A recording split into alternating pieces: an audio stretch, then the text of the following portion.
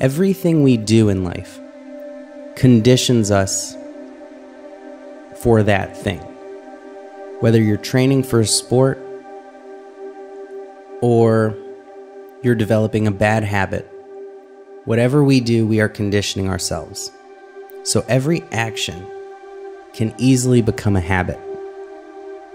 And what happens to most people is we condition ourselves for routine. Most people, for most of their lives, decades and decades, are spent with the same routine waking up, doing your morning routine, going to work, coming home, your nightly routine, going to bed. And while it can be a wonderful life and a simple life, and there's nothing wrong with routine, we're also conditioning ourselves to resist change,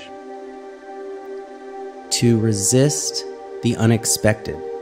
And always unexpected things do come up. Always things do change. And when we are conditioned for a routine,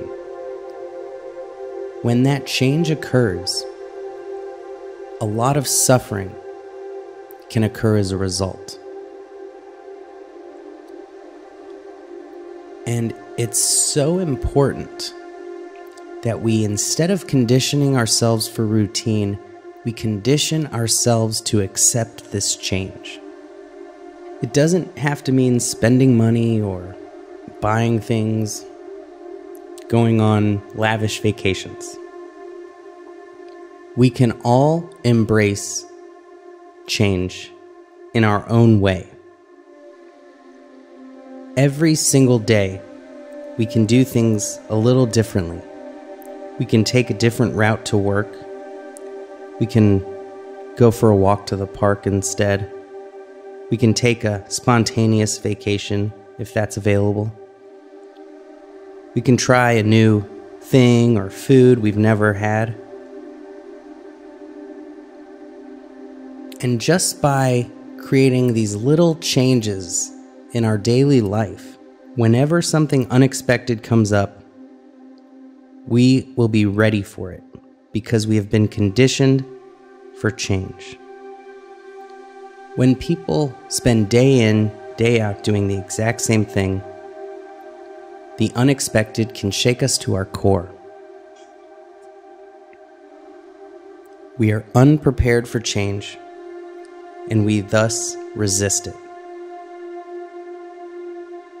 I know some very wealthy people who, when one little unexpected inconvenience arises, they go ballistic. They can't handle it. They lose their temper. You know, if a hotel can't give them the suite and they have to have a regular room at a beautiful five star hotel, they will scream their lungs out and it will ruin their entire trip. For me personally, whenever I get too comfortable. Whenever I notice myself building any stress or tension in my body or mind, when there's a long line at the Department of Motor Vehicles, I say to myself, I've got to go camping. For me, I go on a hiking trip. It's free and there's no luxury out there. And it always reminds me never to get too comfortable to always embrace change and to always be grateful for the countless luxuries and comforts that we all have in our lives.